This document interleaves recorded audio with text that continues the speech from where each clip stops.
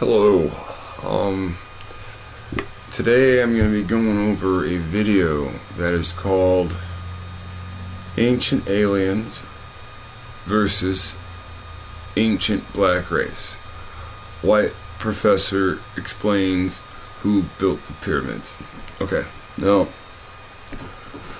this is about the book called Black Genesis, I believe, and the author of the book uh, Black Genesis, uh, Robert Bauval. All right. Um, in this video, it's two hours and twenty minutes. He speaks on his uh, on the evidence he has found during his experience in Egypt, and he sets the record straight.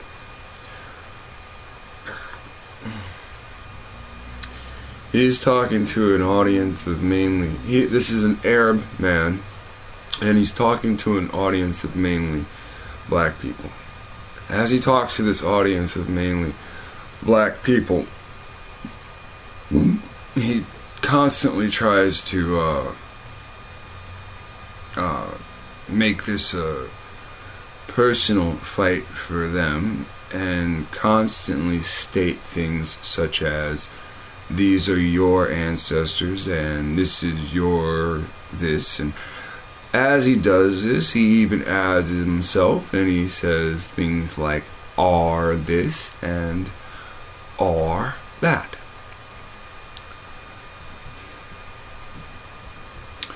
There are many. That aside there are many races which make up the black populace. The term black means in all white societies that you do not exist, that you are not human. Yes, you're a man, but not on their terms. Not human means that you are an animal, or as they call it, a monster, because for some reason you can walk upright. When this man says these things, he doesn't say, You could be of this. He constantly says, You are. I want to make something very clear. When we go through the names of the Bible, not every African is from what we call Mizrahim or Egypt, or which they say is actually Kemet. Uh, I haven't researched that enough to even. I, I don't care about a city's name. Kem, Kemet's not famous, Egypt's famous. Okay, and, and, and if you go to people and say, people, not just black people, if you go to people and say, tell me something about Kemet, they'll be like, what is Kemet? You say, tell me something about Egypt, they'll, they'll be like, oh, the Pharaoh. So, so let's just keep it kind of simple. So, look, biblically, since something created all of us, not everybody from Africa, or not every African, is Mizrahim or Egyptian. Not every black person is a Canaanite. See, like I said, when we go over these names, you'll be quite surprised. Listen, the Greeks say that the the Chinese are the Shina. That means the Chinese are actually Canaanites. They are one tribe of Canaan. Do you understand that? They're not necessarily pale, so they haven't suffered leprosy. Do you understand that? When we go to the Shinta something Canadian Indians who look just like Japanese people, kind of look Chinese too. When we go back to the Roman definition of Shina, it says Chinese and Japanese both fall under this name as if they're both the same bloodline. They're pretending to be Asians. They are Canaanites. They are Africans. Go to the definition of Ham. It says Ham ordered them, all the Canaanites, black, white, red, whatever they are, out of Africa. You've got to understand that. What you term Asian is not Asian. Just like Caucasians in America call themselves Americans when they're really Europeans, they're not Americans either. Do you understand how this was? You are the child of Shem, and you were pushed off your land by Canaanites that now call themselves Asian. We already saw the temple with the thousand, what the thousand year old temple with the prophecy that the Asians would go. The Negroes, Negro wasn't the term wasn't created then. The dark skinned, the, the the melanated, bearded men would go into slavery. So do you do you see what's really going on? If we go to the root of Europe, I'll bet we find tall white men, tall Caucasians. In that, in the definition for for Hamite, see, tall white men, uh, uh, and black men, wavy hair. This is how we find the wave process. If you got to manufacture your wave, you ain't an African.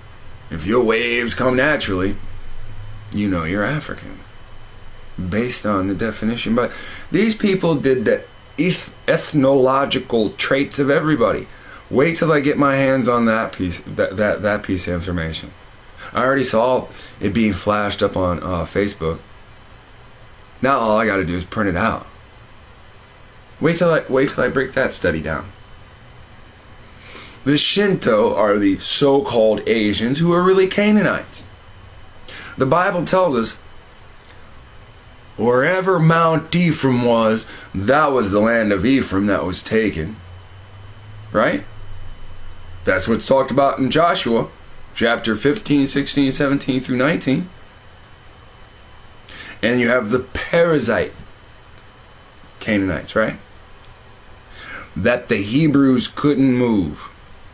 Isn't it funny how the Perizzite, Perizzite, it sounds like parasite? like they leech on to you. Right?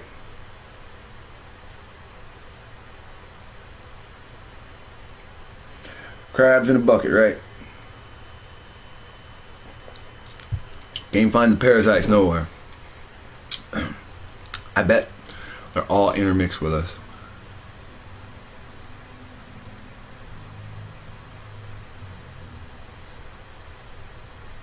You got Hittites. John Campbell, 1890 something.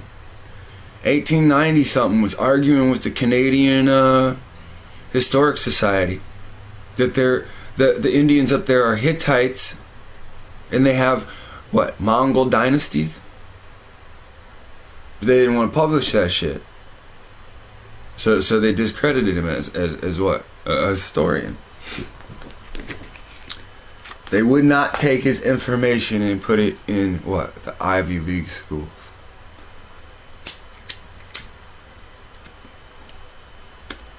Hittites, stringy haired Indians. Shinto, Chinese, Japanese looking stringy haired Indians of Canada as well. Starting to see like how. What happens when we find Heth? is that going to be another African that doesn't look like your typical African? Don't you get it? Chinese, the Japanese are African. Period. Period. They're not Asian. They took your title. The American white man is not American white. He's a Caucasian European. He took your title. It's the same thing. And this this stuff here with this black Genesis, um, if we're gonna say black Genesis and we're gonna associate it with the Bible, well, well, the Bible talks about leprosy. Why uh, do we have to constantly ignore this? I don't understand Oh, that's right. Because this is the root of white supremacy. And again, you know, when you illuminate white supremacy and show how the sun really sees us, it's kind of funny that, the, that these people worship the sun god.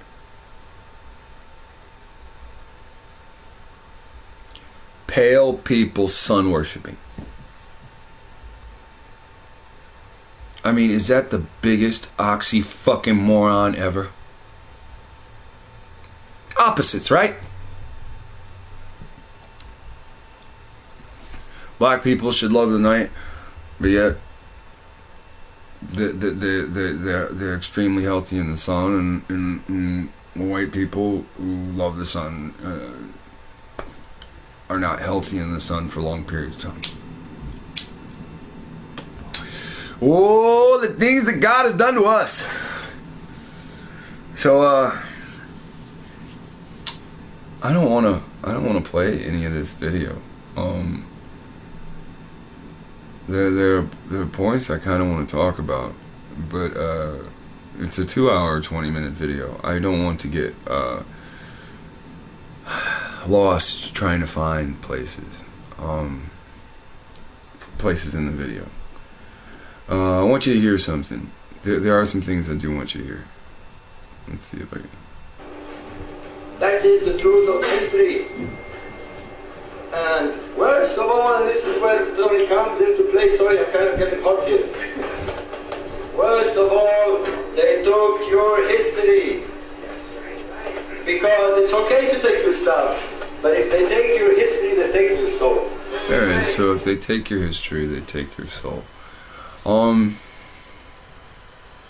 this comment isn't really true. To take someone's history is one thing. Uh, to take their history and them have no way to be in contact with the history for a couple hundred years, not even knowing it exists, that's another. Again, your soul is in your blood. It is your willpower that they are taking from you. Uh, he says something here.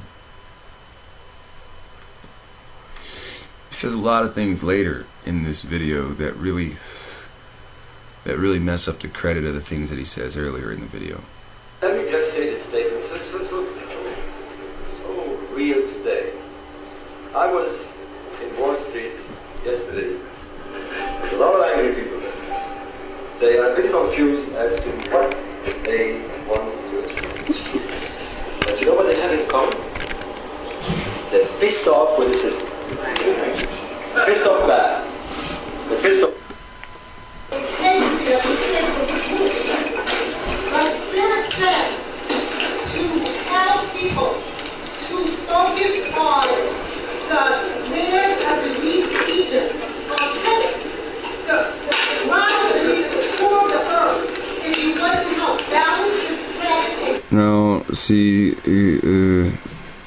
Interesting thing is the professor or leader of this class I already told uh, the people, you know, uh, you know, questions and questions only, no lectures, and you know now we have this woman uh, up here lecturing and stuff, and uh,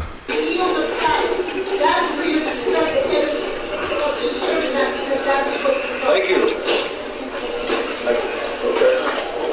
Actually, just a little comment. You mentioned. Libya, there's a war going on there. And luckily, it's now falling in the hands of some apparently reasonable people. It's important because the Libyan desert is the Greater Sahara. And it's full of this thing. These people didn't just roam the Egyptian Sahara. They went all over the place. They went to the sub-Saharan of Mali. You read in the book. These were navigators, big travelers. Thousands of years before, before the Greeks even invented the boat, let alone a ship. Well, that's why the Spirit did not say Egypt. It said the land known as Canaan. It said the energy there because it's bigger than what we Got it, understand it got to it. be. So thank you. Thank you for the wonderful answer. It's my understanding that when the pyramids and uh, the mon- the pyramids were done, and uh, these uh, uh, monuments, they were aligned with the heavens, and that's where the 23rd Psalms comes from. That will be done on earth as it is in heaven. And, and the Lord is my shepherd, meaning the king with his staff and his shield to comfort them. Well, you, you know, you have a point in the sense that what we're looking there is the what we call the hermetic axiom, the as above, so below. Alright, so now we always hear about the Hermetics, but we have we ever thought to call it Hammetics? As if uh, every uh, forefather has, uh, you know, um, a son that devises a religion or a son that is the priest over uh, their uh, religion. So you have Ham, you have Shem, you have Japheth, or Japheth, or however you want to pronounce it. So when you look at uh, Shem's uh, religion, um, when you go into the book of Jasher, you learn that everybody goes and they work with Shem. Uh, uh, Esau went for a few years. Uh, Jacob went for many years. Uh, Eber went and Eber never left. Okay, taking the uh, the the name Hebrew from uh, Eber is as it's defined. So if your blood is of Hebrew, it we are called Hebrew because of our forefather Eber. Now, if you are a African American, a non-Negro, this is not picking and choosing. Your families know. If you are a non-Hebrew, you are African American, your spirituality fell under what we call Hametics. And what he's doing here is he's administering suggestion to these people with his book and book sales to focus on Hametics. Their Hametics has fallen. What they've talked about today is all these areas in Africa that are barren. And this man promotes the idea that all of you, no matter what your ancestor is, are from Africa. Not only that, there's no way that he's promoting that you're Canaanites. He's promoting that each and every one of you are Egyptians. Now, if historically each and every one of your ancestors, excuse me, you see how this works? They just throw advertisements at uh, you when they want. Now, each and every one of your ancestors could have walked through Egypt at some point in history, but no means does that mean that each and every one of your ancestors are Egyptian. I'm looking for a part where he says, where he explains, uh, that there is, uh, that uh, his his his role, his role. and say it is the, the, the, the, the, the, the, the Hebrews or the, the, the New Testament who, because we know it was there in ancient Right, but it was there, I'm saying it was there before, that's been plagiarized. Yeah. They took all this, like you said, you couldn't even stay in the desert and, and, and, and build anything, and neither could these, could the Hebrews or the Jews. It's all a lie, it's plagiarized. Uh, so he he is Muslim, so he promotes Ishmael. So there's no way he's going to allow her to say that Jews are a lie. All right? Let, let me just say this statement. So, so, so, so, so real today. I was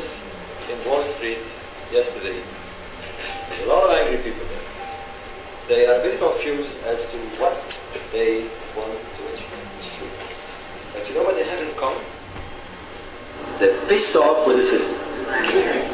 Pissed off bad. They're pissed off in Egypt. they're pissed off in Libya, they're pissed off in Syria, they're pissed off. Because what? The system has created a system that is conning them. You're a person who worked all your It's a con system. And anywhere a white supremacist con system is set up, all melanated people, all people that have not suffered leprosy, are on the bottom.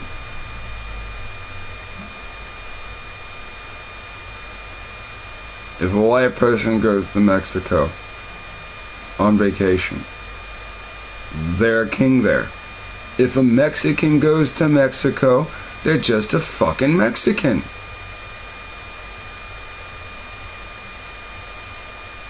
Am I right or wrong? If a Japanese person goes to Mexico, they they look the same color as the Mexican. They're not exalted.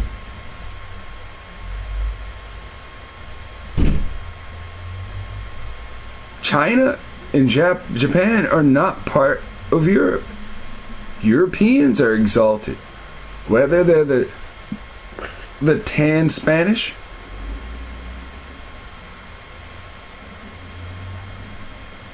or the Italian. Or the Swiss.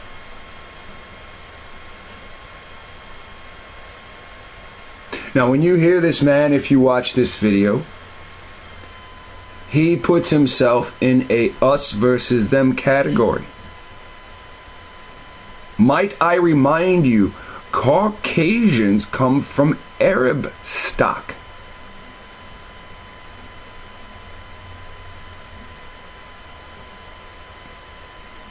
He comes and complains about the system that he's a part of.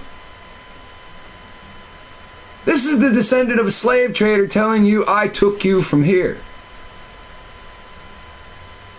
Of course, those aren't the words he's going to use.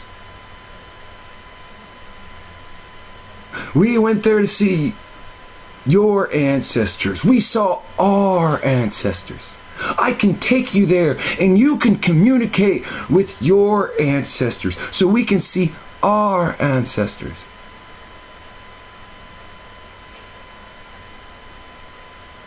Not only does he want you to buy his book, he wants to hope that randomly you're of Egypt blood and hope that randomly by touching pots you're going to see your ancestors and he'll get to witness it. life and you pay your taxes and you pay your Medicare and you find yourself, your house is possessed and you're the. What's the system?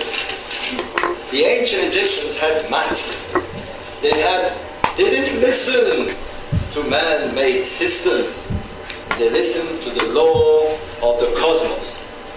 They listened to the universe. They listen to the inside law. The law where man is united with his land and that they all progress towards justice. They all progress towards this amazing concept. I'm sorry, are Arabs historically famous for slave trading? Are they historically famous for separating man from land? Are they historically famous for kidnapping uh, men from their land and taking them to a different land? Is that what they're historically famous for? Are they infamous for this? of math. And they lived harmoniously. You've seen them from 10,000 years now, we can see them. No, nobody lived harmoniously because we can see it's been war, war, war, with just a few years in between. The Hittites against Egypt, right off the bat. Abraham against the Canaanites, even before that. The Greeks come out and do what? Conquest. Who was conquesting before the Greeks? Persians. They fall under what category? Arabs. Come on, man. Untouched, harmoniously, wonderful art, wonderful exploits, the pyramids, the temples, all this until who came? The Romans. The Romans came and the whole thing went pear-shaped.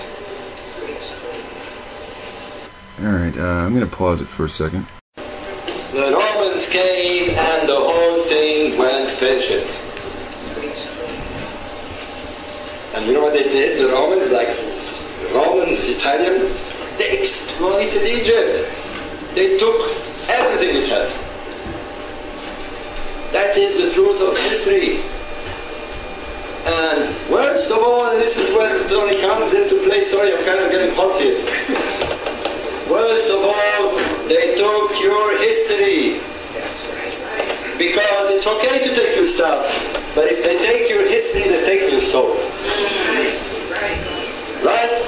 Right. And now, we're not going to let this happen. People are working hard to bring this out in the open.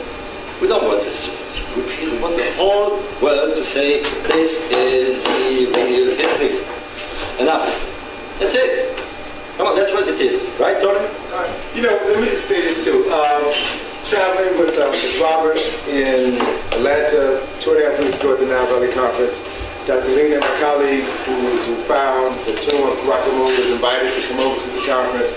Um, Tom Brophy, the co-author of um, Black Genesis, as well as Robert Schoch, who did the dating of, of Cape the Sphinx. Um, four white folk, right, in the midst of black folk at this conference, never been exposed to these many black people talking about history in this context, and it was transformative for them. They, they don't know what we don't know. Even they don't know. But what was interesting, In the beginning of this, he already expe- expressed he spent 30 years in Africa. So, this guy spent 30 years in Africa, you know, doing shit and digging it up. So, what he's saying, uh, I'll only count the experience he's actually talking about. thing is, is to get feedback from them as they listen to Dr. Finch, as they listen to scholars from Senegal and from, from Ghana and from, from Mali. As they heard the truth, I mean, it resonated with them. One of the things that we're confronted with right now, Robert's got a new book called The Master Game. And it deals with the game that is being played on everyone all over the world.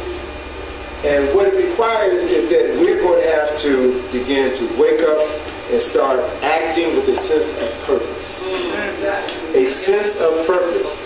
We can't just talk about things that happen and not do anything today. The only reason, the only way people can exploit you is if you remain silent and ignorant. You have to act, but you have to act with forethought.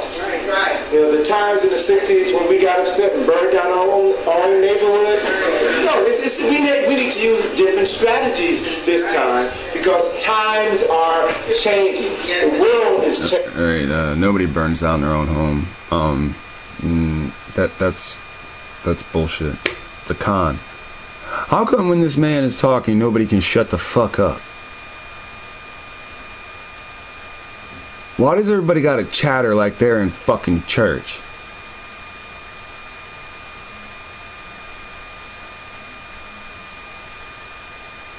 I, I look. I hear what he's saying, and no, he's probably not a Freemason. But I'm trying to find the point where I can show you that the other guy is a Freemason. So give me a minute. Give me a minute. Yeah, it's, it's coming up. So my bad. And if we really believe that we are connected with our ancestors of thousands of years ago who set the world in motion, who set society in motion, we have to know that that same spirit, that same energy, that same consciousness is in us. And that by grounding ourselves, centering ourselves, and acting on what is inside of us, we can change the world again. Let me get to my sister here and then get to I just want uh, Dr. Val to clarify what was found in the king's chamber through that small door. I don't think people here may know that little piece. I have to be. Is that, is that piece true or what? Well, yeah, they found the door. Yes, it's absolutely true. What's behind the door? Well, what I share with you about uh, Uh, I I have to be clear on this. Because there's been a lot of rumors and what's been found and has been secret explorations and all sorts of stuff. I have been at the very origins of this project with the discoverer of the first door, Rudolf Gantenbrink. I have been at the very origin of the first discovery of the door we looked at. Do you understand what that means? How do you become part of the what original team that gets to analyze hidden doors found in a pyramid thousands of years old? You've got to be on the inside. You've got to be part of the end game. Listen to him again. He's not somebody that was invited. Now, it doesn't matter what this cat said. It wouldn't even matter if this cat was a Freemason. You got to defeat their arguments, right? This chamber through that small door. I don't think people here may know that little piece. I have to be Is that, is that piece true or what? Well, yeah, I found the door, yes. It's absolutely true. What's behind the door? Well, Can I ask you about, uh, Uh, I I have to be this because there's been a lot of rumors and what's been found and there's been secret explorations and all sorts of stuff. I have been at the very origins of this project with the discoverer of the first door, Rudolf Gattner. I'm actually the person who promoted Rudolf Gantenbrink's discovery in the international media. You probably read all this in my book, The Orion Mystery, and in great detail, if you can find it, a book called Secret Chamber. The whole story is told in. Secret Chamber. secret chamber? Yeah, it, it's one of my fun books because it goes through the whole story, whether there is or there isn't secret chambers. Yeah. one of my fun books. Okay, now we're gonna go back and we're gonna go back towards the beginning. I mean, towards the middle, and we're gonna see this part where he talks about these uh, pots that are found. All right, now he didn't talk about this, and now you just heard he's been on the inside from the beginning of the secret chamber being found. Hold on, we gotta watch a commercial. We need it real quick.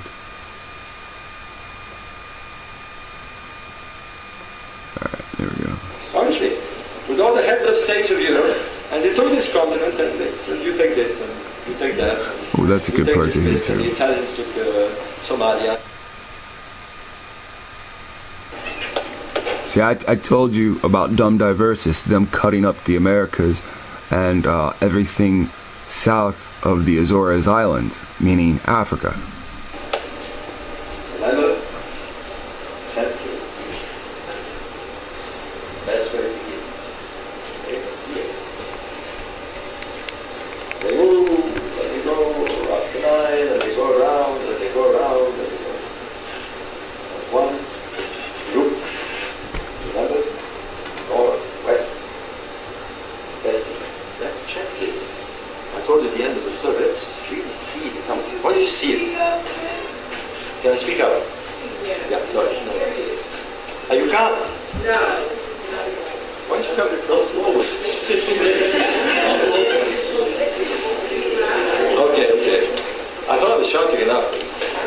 Okay. Is that okay? It's better. Yeah, yeah. Hey. Actually, I like Now you gotta understand, it's literally one hour into his lecture, and this is the first time somebody tells him to speak up. He's been mumbling the whole lecture. Now, you got to understand that's the audience's fault. When we show, when I show you the part back here, you can see when they pan into the audience, nobody sits in the first few rows. They all sit in the back, as if it's a bus.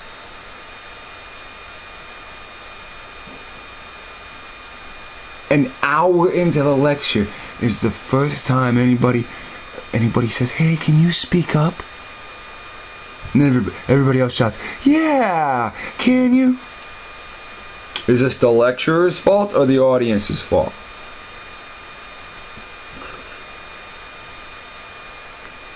when people are close. You can't going now to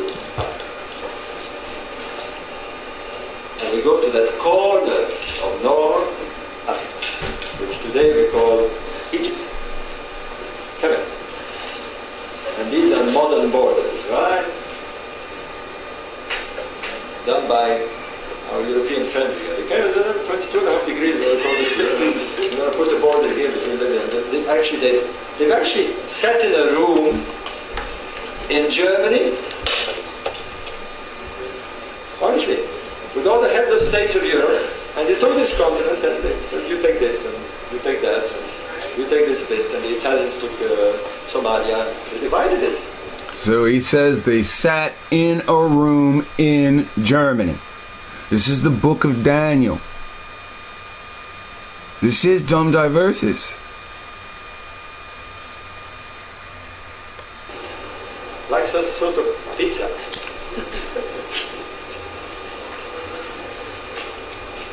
anyway, Egypt. Look at his names here. It's a little bit far away from you. There is a belt of oases that runs kind of parallel to the Nile. By the way, I mean, look at this land. It's actually a huge desert.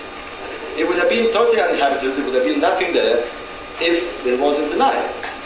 The Nile splits this desert, creates a huge western desert. It's attached. Oh, excuse me.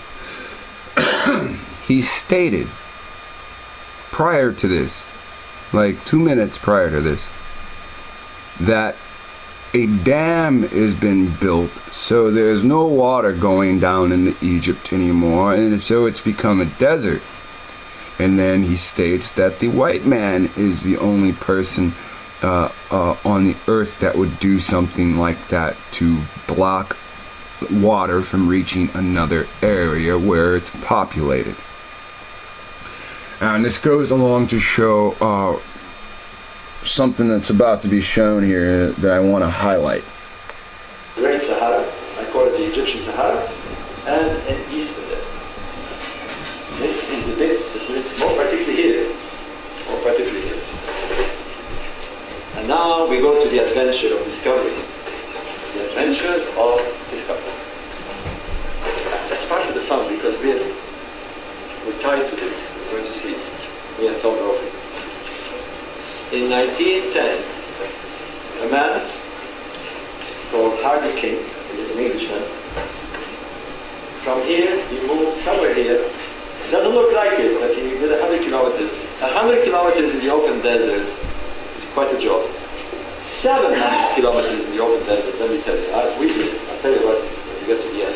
It's spooky stuff. But came here, and he came across a hill.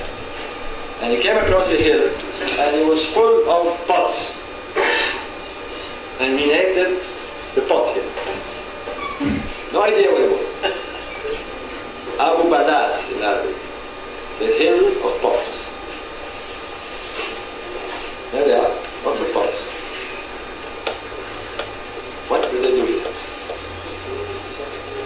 Comes another guy, very sexy guy. Called Hassanein Bey. I'm saying it not now because he was actually a very handsome man. He was educated at Balliol College in Oxford, spoke perfect English, was an Egyptian, and among many others of his exploits, he was a fencing champion for the Olympics. Among many of his exploits, he seduced the Queen of Egypt, had an affair with the Queen of Egypt. They said they married in secret. That's another story. It's kind of like a cross between Omar Sharif and Rudolph Valentino. I love this guy. I read a lot about him. Look how it goes. and he performed the most daring, the most amazing adventure in exploration ever to be attempted before and after. Well, the before actually, wait a minute. No, no, no, no, you're going to see. Not quite. On the coast of the Mediterranean, in a town called Sallum. You remember this Libyan border where all the refugees crossed during the Libyan uprising? They crossed at Sallum. He traveled 1,200 kilometers because he had heard from the Bedouins of some magical, mysterious Shangri-Las in the desert, oases that had wonderful things, and he sent to find them. And he did. He found two. He found one here called Arkenu, it is about here, and he found this zone, this zone here. He called it Uweinat, the little eyes. Egyptian called eyes, pools of water. It's the only place in all this vast Sahara that you find water. It's not underground water. It actually sweats from the hills. This is the tallest mountains in the Sahara. I would like to, to Google it. It's the most mysterious place you can imagine. I've been there. We're going to see pictures of it. But let's follow Hassanein because, wow, it's supposed, supposed to be totally uninhabited. There was supposed to be nobody there. Nobody had been there. This is 1923. They couldn't go there All right, because so- they said it was impossible to go there. In 1933, they take this picture, and this dark skinned person is what an Egyptian looks like.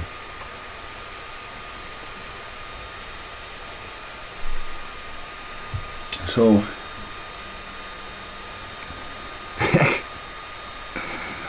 as you can see, he does look like the cow. Does match the cow that's behind him. Alright, so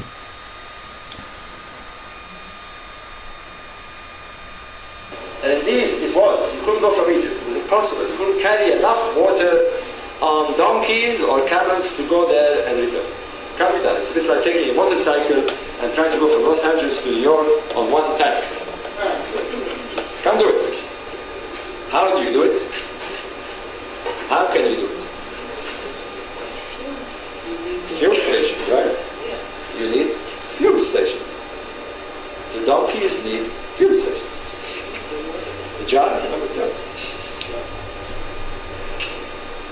They didn't work it out yet. But Hassanein there in the supposedly uninhabitable zone camps with his guides. They made it. And the reason they made it is that they hopped behind Libya, managed to carry enough water because they were replenishing, and they reached this Jebel Uweinat, and they sleep. Nobody here. They find there's nothing. There's no living thing at all. And in the morning he wakes up and he thinks is what he describes as a beautiful African girl with a bowl. It's her, by the way. He actually took the picture. her. Bowl of milk. And he, he actually says, because he wrote this wonderful report, you'll find it in the book, he thought he was dreaming. And she spoke a strange language. We know now it is Tebu, the ancient language of the desert dwellers. The Quran language, the Tebu language. And he had a guy that kind of understood that she said, hello? Would you like some milk? he said, what are you doing here? yeah. Okay, so if you want to hear this better or in context or whatever, it's 107 of this video, minute and seven. I'm gonna keep playing it. Uh, I I know because of his accent, it sounds funny or it's it's hard to you know uh, decipher, not so much translate. And then here. Oh, look at here, really. You want to meet my king? So he's out in the middle of the desert. He decides just to make pit stops or or make his own gas stations so that his camels can rest. You know the rules of the desert. You got to travel during night, so they're sleeping and resting during the day. All right. So he says he gets to so far, and then they wake up, and there's a woman standing over him. The picture I showed you two or three minutes ago, and I said it was a man that matched the cow. It wasn't a man. He was say he. This person was stating the author of the book, Robert or Bobby Bauval, Robert Duval, Robbie Robert Bauval. Right, um, he states that the image that was shown on screen is the actual woman from 1933 when this guy woke up and uh, his guide was able to translate her ancient desert dialect.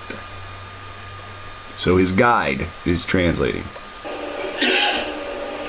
King Herod, she said. King Herod. I realized we don't have a picture of him, okay? I said, I actually took a picture of him. Looks really good. So she says, Would you like to meet my king, King Herod? And this is in 1933.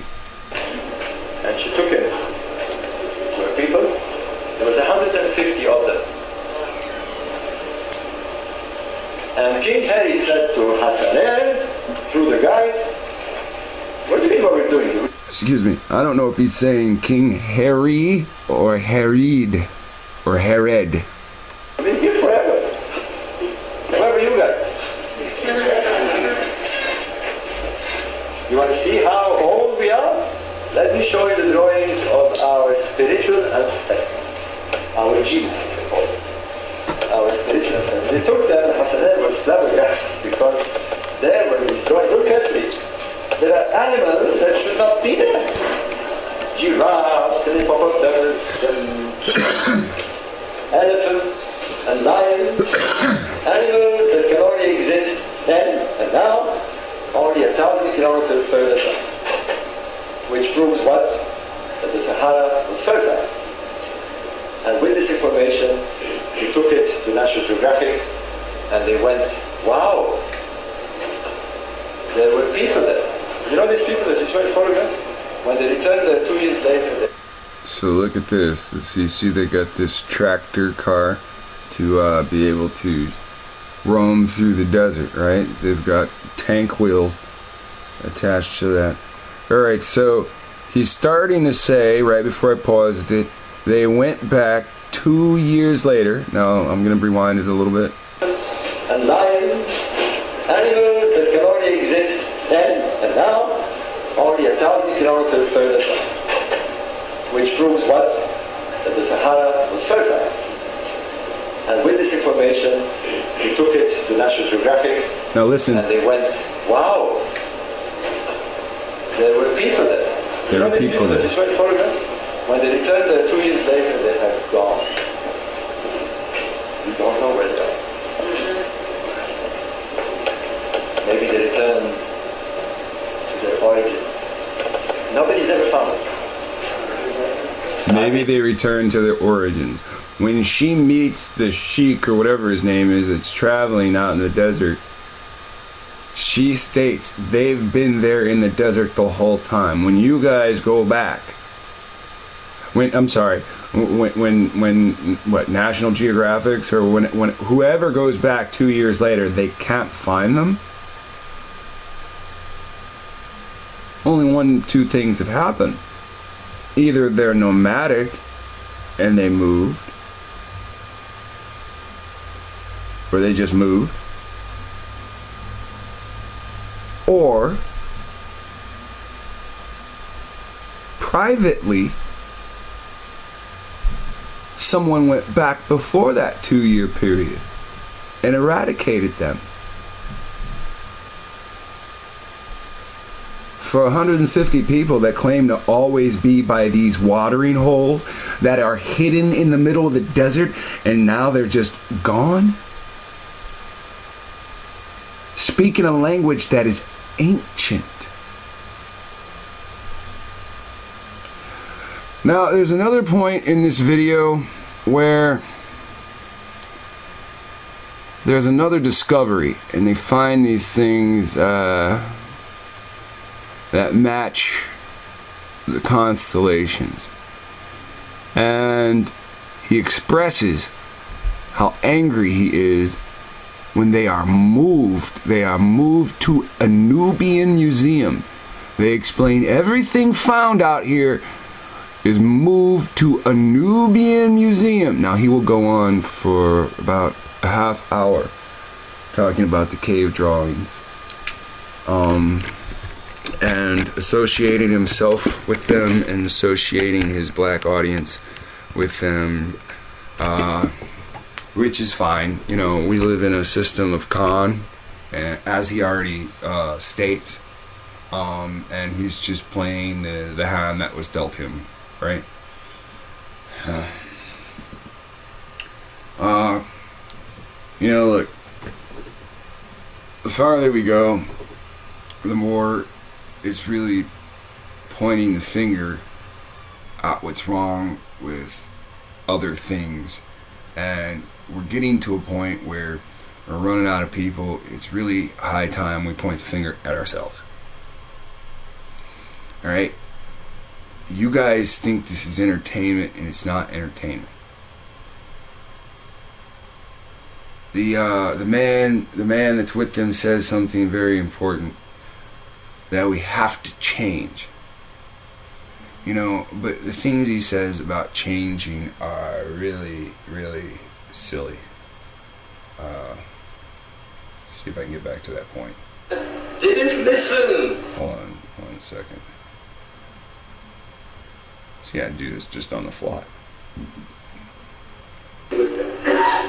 One of the things that we're confronted with right now, Bob's got a new book called, called The Master Game.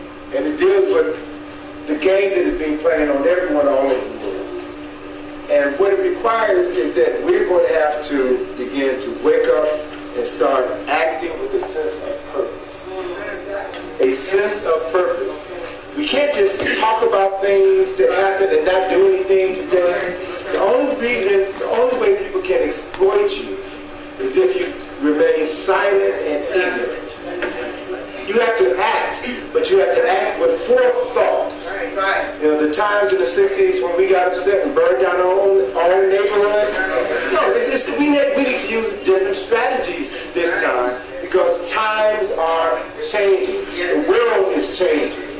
And if we really believe that we are connected with our ancestors of thousands of years ago who set the world in motion, who set society in motion, we have to know that that same spirit, that same energy, that same consciousness is in us. Mm. That is that is pretty sincere. But the problem is nobody's telling you how to do it. Everybody's giving you wishful thinking. Nobody's telling you how to do it. You've got to set goals. You've got to set goals that are reachable. And, and that's the thing. Nobody's willing to eat uh, uh, beef hot dogs and beans all week long. Nobody's willing to have peanut butter and jelly all week long. Listen, if it all, if you believe it all starts with finance, nobody's willing to, to, to, to have it start with their actual belief system. See, if it's finance, if I need money to do this, if I need money to do that, we're not putting the effort forward. If we need to make the change, if if if if we need to leave, hey, let's say you believe uh, Israel on the other side of the world is, is truly where we're supposed to be. You're not putting those efforts forth. If you are a member of one of these camps and these camps say, you need to do this, this, this, and this, and, and you're still not putting those efforts forth. You understand my perspective of all of this. We need to leave. And to be able to leave, we must make goals. And the biggest thing about this is our discipline. We're adults with children's mentalities. It's the hand that we're dealt. So we have to discipline ourselves. Without discipline, we're just men and women running around with idle time, complaining how we don't have any progress because there's nobody there. Are we crying for a fake worldly dad to hold our hands? Like that guy said, you're gonna call people to go down to South America with no finance? Mm, There's no welfare for us. We are adults. You take one dollar, you buy a pack of pens, you take another dollar, you buy a notepad. Here's the part that's free. You just sit and think. How are you going to be able to make it outside of here? You watch all these survival shows. These people can live in weeks in the woods with what? A, a fire starter. You ever watch Naked and Afraid? It looks like they suck. It looks like they've actually had like three good contestants on. And, and, and then and then usually they fold. You know, like I mean, there's a lot of good uh, people that have you know successfully completed it, but I'm just saying. It looks like they've only had like three out outdoorsy people. They put they had that Navy SEAL on there, that special ops guy. They put him on a sunny beach and he just sat there like a clam, turning turning red. like he couldn't be effective when when when it when it was on the line. The woman that was with him that was braiding things up was more effective to braid baskets and, and catch fish. So if we're not willing to put our asses on the line to secure things like skills, what do I mean by that? They have a book for everything, don't they? If you want to eat in the wild, they have books on edibles. If they want, if you want to what uh, survive in the wild, they have survival books, don't they? If you're not willing to grab those books and study them, how many of you have books that you haven't even opened? That's us. That's what's wrong with us. Open those books you have. Don't be afraid of what the book is. It's an ocean. When you go to the ocean, you don't say it's a big ocean. No, you take your clothes off and you jump in, right? Go into those books that you have. Decipher through the information that's given to you.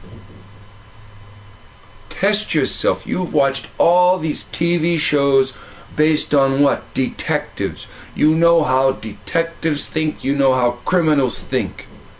You're in a criminalistic society that tries to find the next new way to steal before a law is put on top of it. So change your mode of thinking. Think about survival. I'll tell you what. An article was sent to me. It said I wonder how fast I can find this one. It said Russia is up in Canada, uh, the northern, the northern region for war games. Uh, uh, I mean, they've been there practicing war games. Let me just get the article, and then uh, and then you'll understand what's going on there. Actually, I don't see the article. Oh man.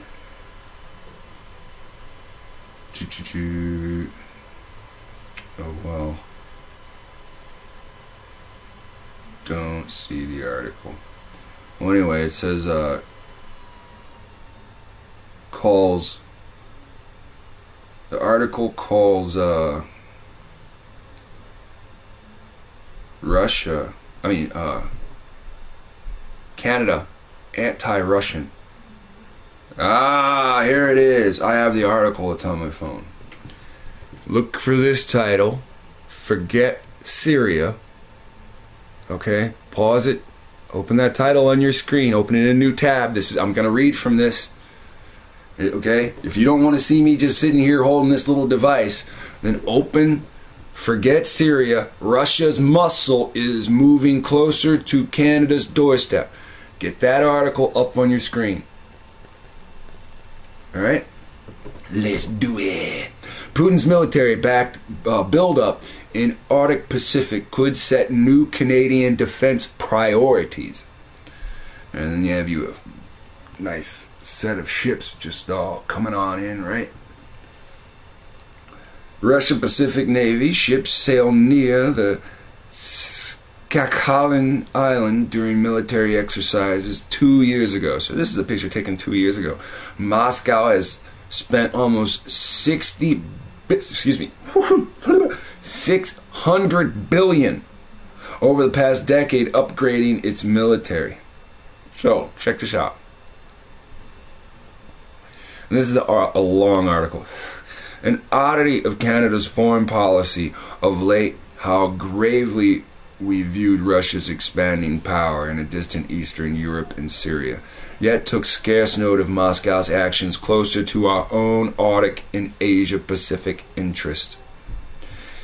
Even allowing for the vast distances in, involved, Vladimir Putin's strategic thrusts are almost on our doorstep and may well require far more serious attention from the incoming Libya uh, li- liberal government.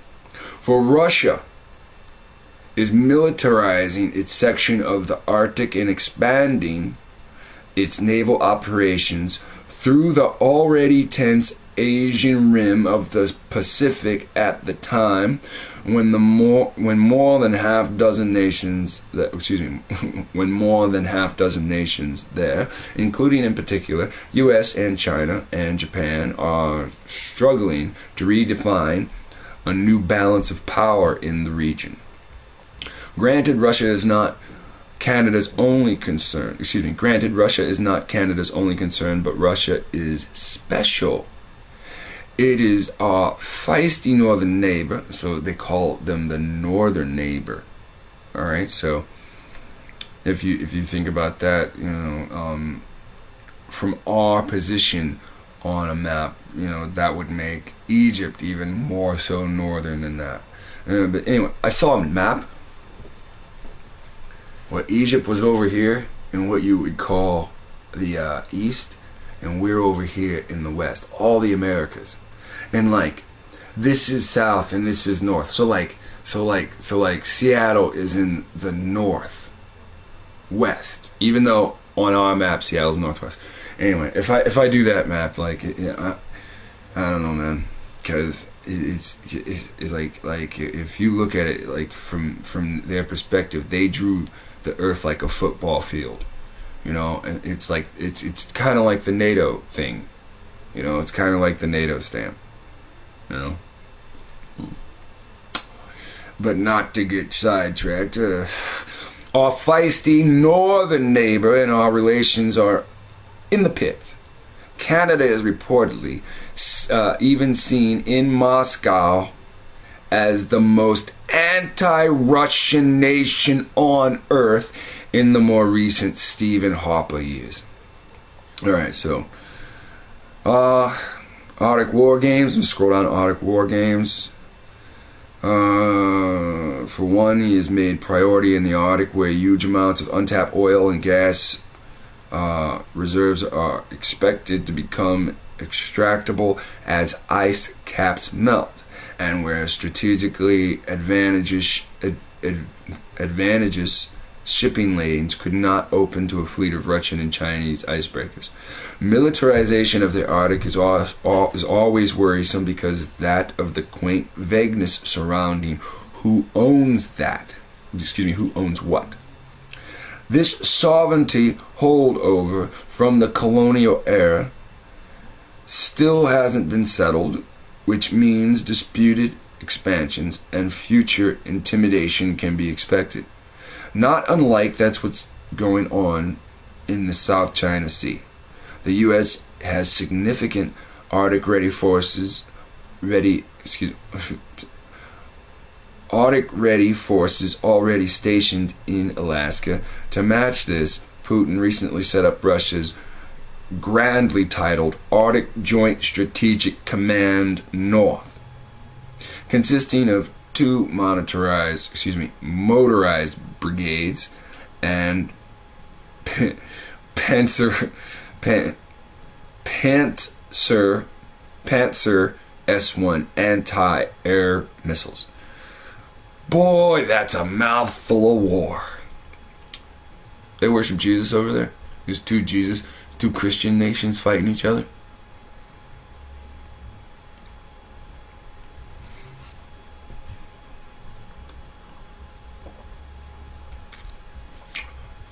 Russia is also a far more uh, more active in the Arctic than the U.S. and Canada. Last March, for example, Putin oversaw the largest Arctic war games ever 35,000 Russian troops, 50 surface ships and submarines, along with 110 aircraft.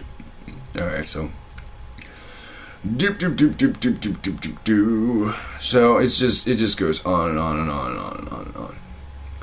Alright, um I recently saw a video uh, on YouTube where it said a Russian plane had buzzed uh, a US warship and I was thinking when I saw that, maybe I should make a video about that. But uh, of course I didn't. And it was really weird. Pardon me. I'm drinking soda and it makes me burp, so gassy. Can't help that. Got untapped oil and untapped gases. Uh, so uh, I thought it was kind of weird. They had a a giant Russian plane. Now I don't know if it was a bomber. I don't know if it was a spy ship. I forgot what the article was. If I go try to search for the article, I'm not going to find it. So I'm going to just tell you. Um, it, it was a video report. Um, and what was going on in it is on the deck of the U.S. ship that was uh, that they recorded this plane going over, uh, this Russian plane going over. All the U.S. sailors were on deck and I thought that kind of weird. Um, we got in Syria, we have the United States uh, active military on one side of this war. We have Russia on the other side of this war. Um,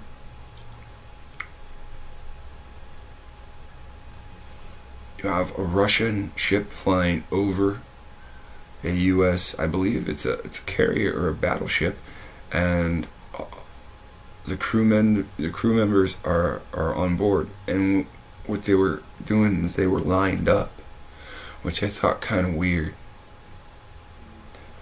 Who in their right mind during time of war and your basically your enemy's plane is over top of you and you send your men on deck. I don't know if these men were already on deck when the plane came up but what they showed on footage was the men on deck and the plane above.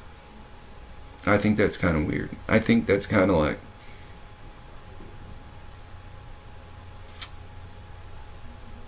let me say what i thought when i saw it. I felt like the us soldiers or sailors that were on that ship were being held hostage. Like they put it, like you know how you're a gunman and you grab like a civilian, uh, right, and you put it a gun or so, or a knife against them while the cops are on the other side, you know, or something of that nature, you know, and it's like they were like they were holding those soldiers there, saying, if you attack this ship, this is what you're gonna kill, you know. And then it started to make me think, oh what's what's on the ship? That's so important that you're not even gonna freaking defend it. You're you're gonna have the men line up. Now here's the thing. Again, I saw this. I don't know if the video author or the news station used the correct footage for the correct event. I don't know if they just wanted to show the ship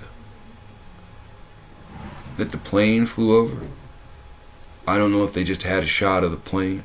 I don't know if these were separate shots, just combined uh, uh, uh, to make this story. I don't know if they took the footage of the men on the ship from a ceremony and used it for this situation. All I can tell you is the thoughts I had when I saw it. So it does make me kind of want to uh, uh, uh, uh, hunt down the uh, the video. So if I find the video, I'll attach it in the next couple of uh, seconds or minutes. And uh, if I don't find the video, then you know it's just the end of the video. You know, so um, so look, with all due respect to each viewer's heritage, look, I don't care about your belief system, but respect to your heritage, we, all have ancestors. We, we need to go to our family members to do our best to try to find out who our ancestors are.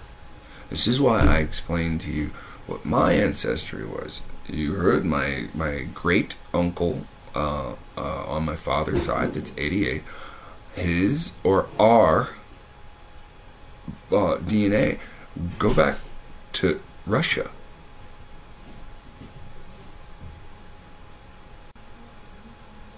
You know, you're taught that Negroes aren't from there. You're, you're taught Negroes have been all over the earth, but you know what I'm saying.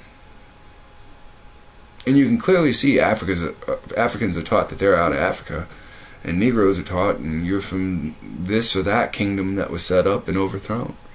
You're from this diaspora. So, so please keep this in mind. I understand if you've been told just because you're black that you're an Israelite. The children of Cain were promised slavery. Okay? I'm gonna, I'm gonna put it to you just like that. And during that promise, Cain's getting cursed. But Noah, Noah just decides to say, "Oh, Shem, Japhet's gonna dwell in your tents." Now, if you combine that through history, Canaanites leaving Africa first, then Hebrews leaving Africa, and then Hebrews having to go through the land that the Canaanites have then settled in, and eventually overthrowing a couple of settlements and taking over them. You've got to see the bigger picture. Not to mention when the family, the grand family of the Assyrians comes and decides to move us. Literally moving one nation off of one soil to another. You've got to take this into understanding. You've got Olmec heads from South America all the way up to what? Central America? Not in North America. But no Olmecs.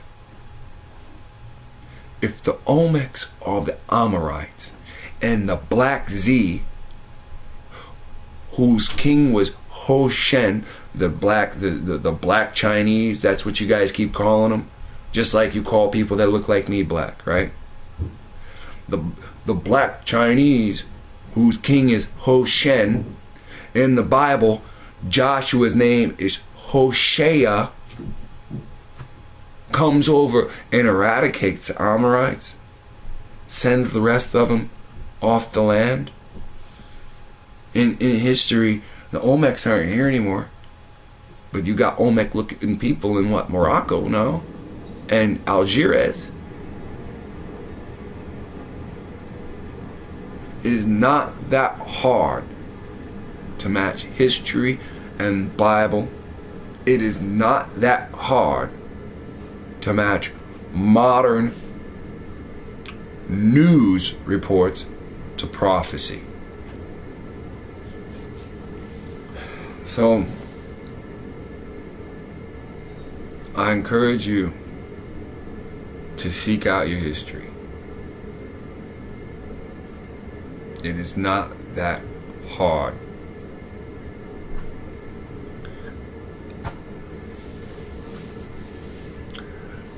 Good day. U.S. Navy says two Russian maritime patrol jets flew within one nautical mile of the U.S. aircraft carrier, the USS Reagan, during the U.S. South Korean naval drills on October 27. The U.S. said it received no response when it tried to contact the Russian planes, and the U.S. Navy sent four fully loaded fighter jets to fly alongside the Russian aircraft. No confrontation took place, but a U.S. Navy spokesperson said Russia should obey international rules. American boots will soon be on the ground in Syria. President Obama has ordered about 50 U.S. Special Operations troops to northern Syria to aid Kurdish units and others battling the ISIS terror army. Mr. Obama had previously said he would not send U.S. ground forces to Syria. The White House Okay, so here in the video, there's a uh, YouTube artist that uh, author that uh, makes uh, videos of the news. He calls himself Angel of the Apocalypse. I don't know him. I just watch the videos because I don't have time to sit there and watch a bunch of different news reports. You know, it gives me about 30 minutes of news. Uh, he sets them up by month.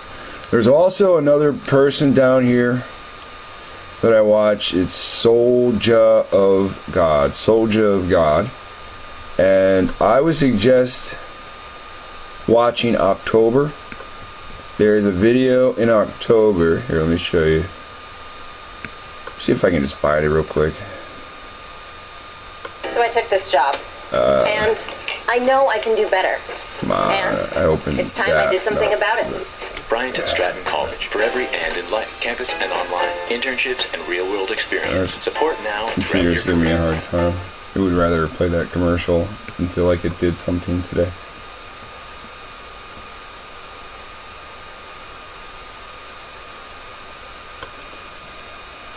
Alright, it's being unusually long.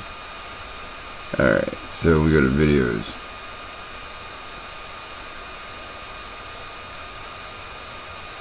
So we go to videos. Come on, piece of crap. Alright, so. I would guess. It would be. In one of these. Three. Give me one second. Alright, I found the one I wanted to watch, so.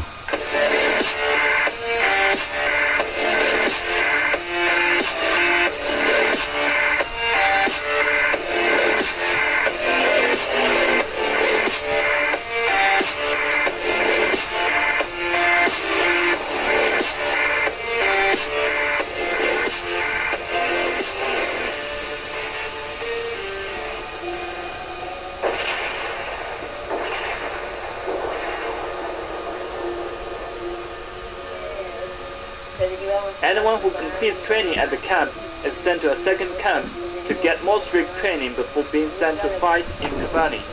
They tell us that we are going to fight Yazidis and kill them because they are infidels. And if you die, you will go to heaven and they will go to hell.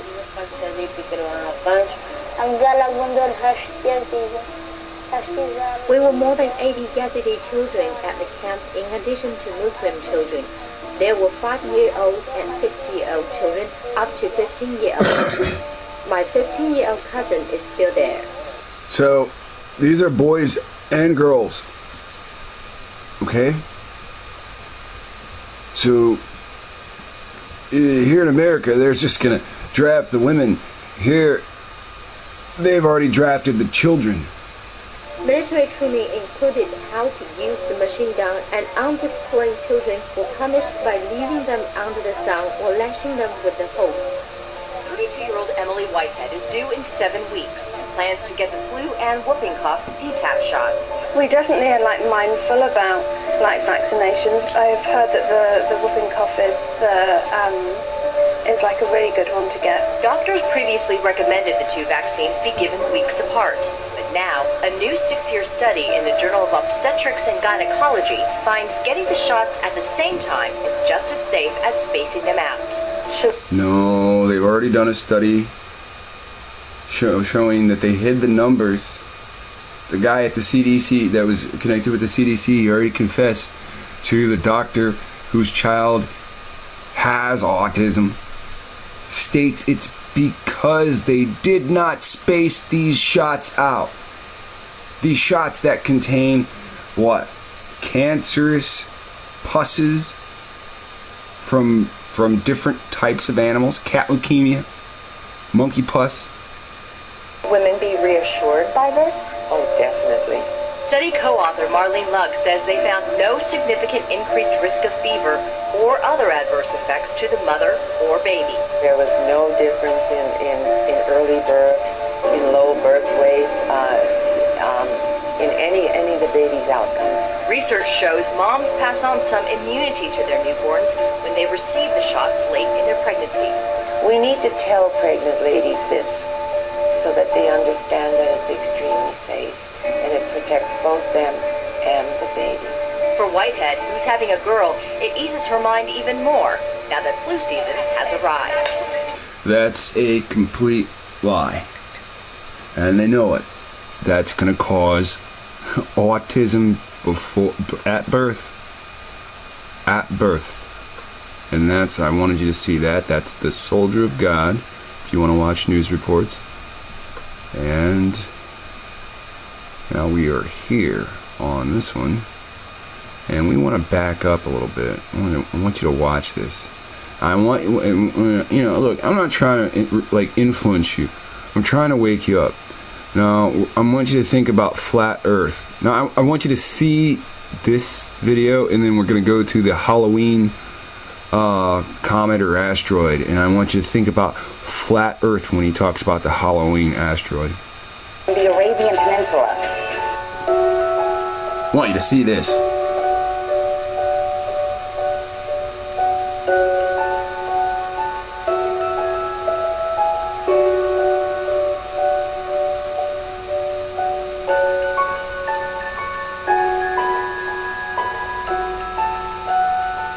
Does it matter if it's harp?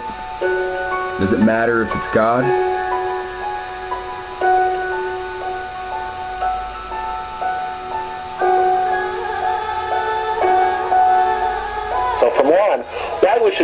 Gazing upwards and perhaps counting our lucky stars, we reach the host of Quirks and Quarks. Bob McDonald is in Victoria. So Bob, should we be excited or spooked about this asteroid? Well, it's kind of funny, uh, Andrew, because uh, we've already got one of the first images of it, uh, a radar image of it, and it looks kind of spooky. It looks like a skull. It's this black thing with dark eyes, and ooh, it looks really creepy coming right towards us. But uh, from a scientific point of view, it's uh, an opportunity to have a free mission to an asteroid. We don't have to build rockets and go out and find it. It came to us. So over the next few hours, uh, the largest telescopes on Earth are going to be looking at this thing, and they're going to be bouncing radar waves and microwaves off this thing to try to image it as it goes by. So we should get much clearer images as the day goes on.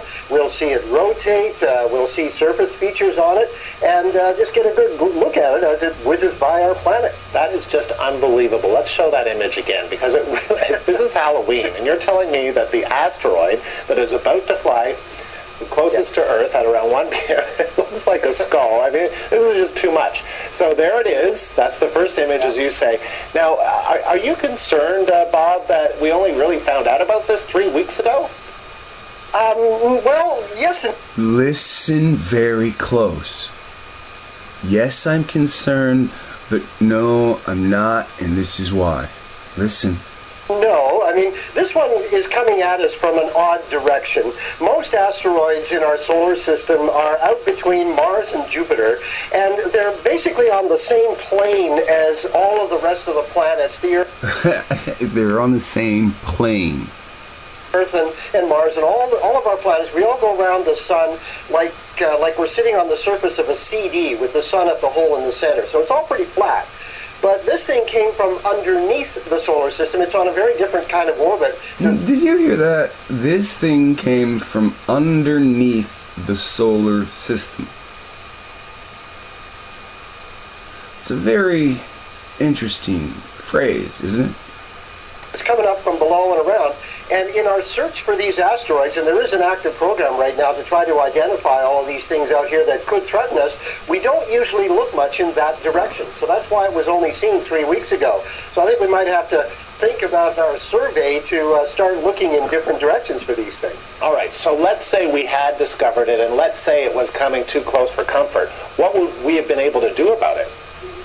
Well, in this case, nothing. Uh, if it's only three weeks out, we don't have the resources on Earth. We don't have anything standing by right now that's ready to go out and try to do something about it. The only thing we can do is uh, if we did have something like that, is to try to nudge it just a little bit. If you can get it uh, when it's far enough away, a little further than three weeks actually, just nudge it a bit, it would miss it. but otherwise, the only thing you could do is to evacuate the area where it's going to hit. And the scientists would be able to predict exactly where it's going to come down. So they could say, okay, it's going to hit uh, Scarborough, Ontario, and it's going to hit at exactly 103 this afternoon, then everybody would have to get out of there. But I don't know how you do that. How do you how do you evacuate people because something this size would cause destruction all the way out to Nova Scotia?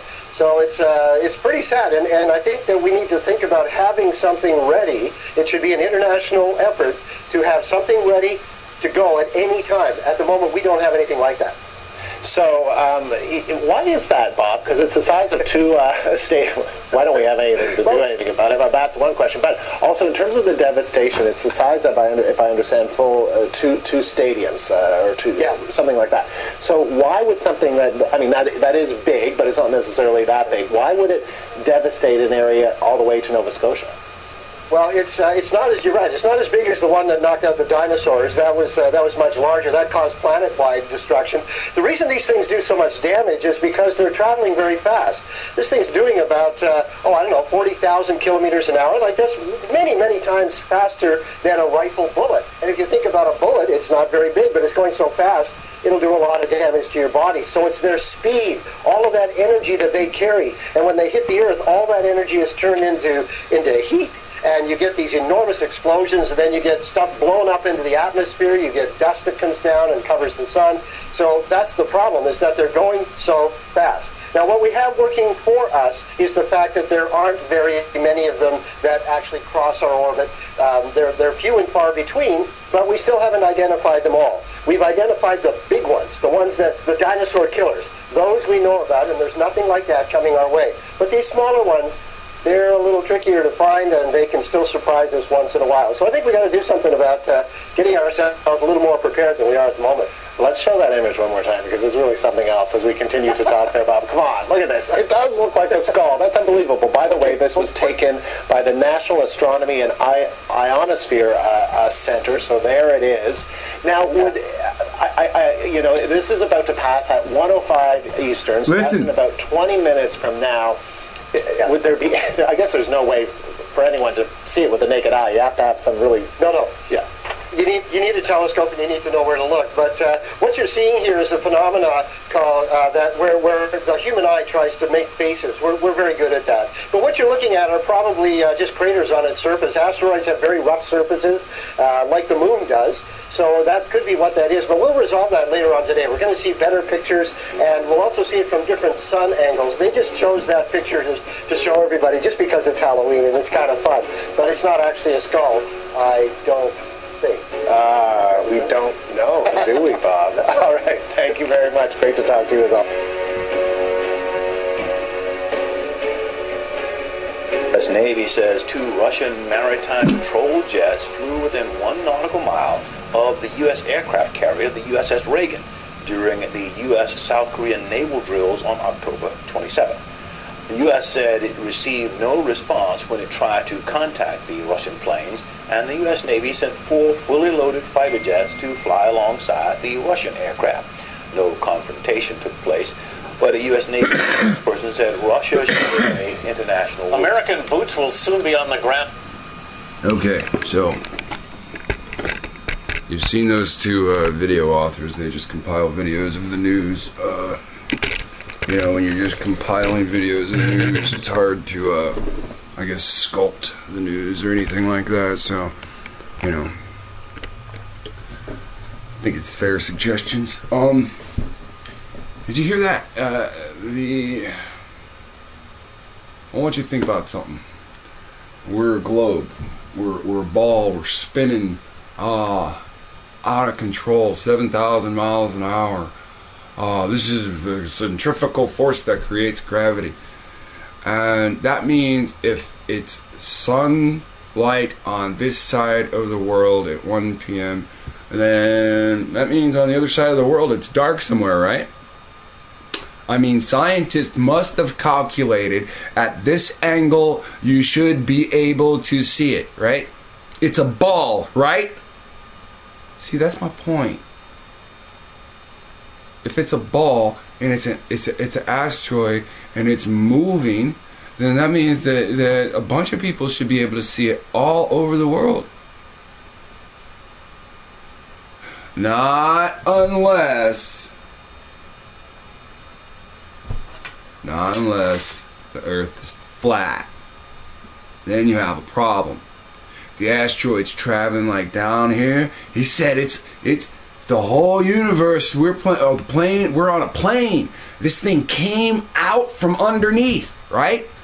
If we're on a fucking ball, which part of is underneath? Uh, do you understand the language that they use? Like, it's really hard to sit there and say, we're a sphere spinning around. You're not throwing up. And, you know, we can't see something that's passing. You have to know where to look, and you have to have uh, uh, uh, a telescope. Okay, that's fair. But what area of the world do you have to live in since we live on a sphere? See, let me explain something to you. This is round, right? So, here's night and day, right? Here's daytime over here, here's nighttime down here. If if if if the comet, I'll just hold it like that. You just think about the you know halvesies, okay? So if the comet travels like this, it came from below, right?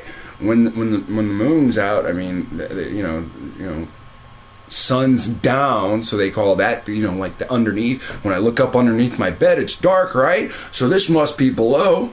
So the people that were in the hemisphere of the moon should have been able to see this comet first, right? See, you've got to actually listen to what he said. We're on a flat. Right? Oh, yeah, yeah, yeah. Planets spinning around sun. Whatever. Right? They tell you there's a black hole sun as well. You know what that is? They say it's the center of the galaxy. So if the black hole sun it's a hole. It's like one of those, you know, when they show, you know, uh, dimensional travels, like spiral in, you know, like when you let water out of a sink and it makes the whirlwind. It's like they say that's the black hole that's in the center of the universe. If it's in the center of the universe, how can there be a hole if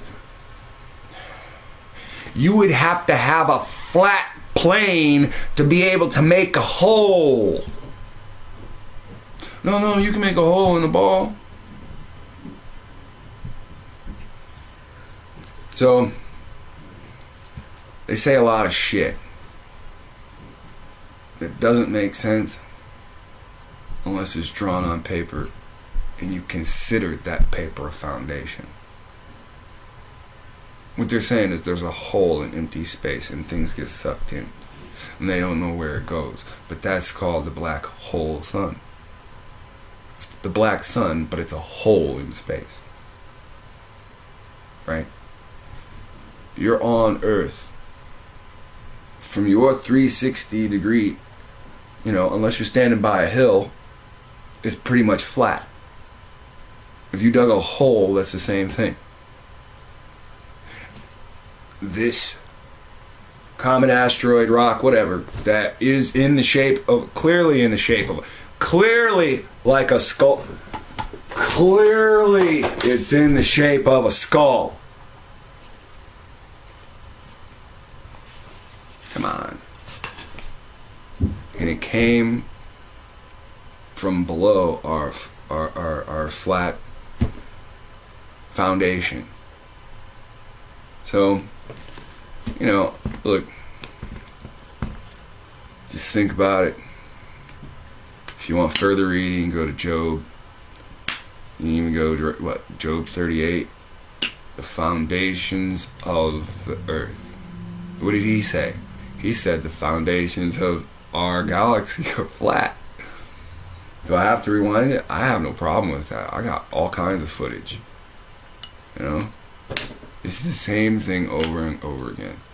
To have a foundation, is your parents in construction, Ask yourself why they have surveyors. Ask yourself why things need to be level when you build something. They need to be level Do you know the definition of level? Equal. Flat. Do you understand what the definition of foundation is? Pretty soon I'm either going to drop this or something stupid, so I'll just say. You've got to understand what's actually being said to you with the words being used to convey the message. You can't care about the messenger, you have to focus on the message. Au revoir.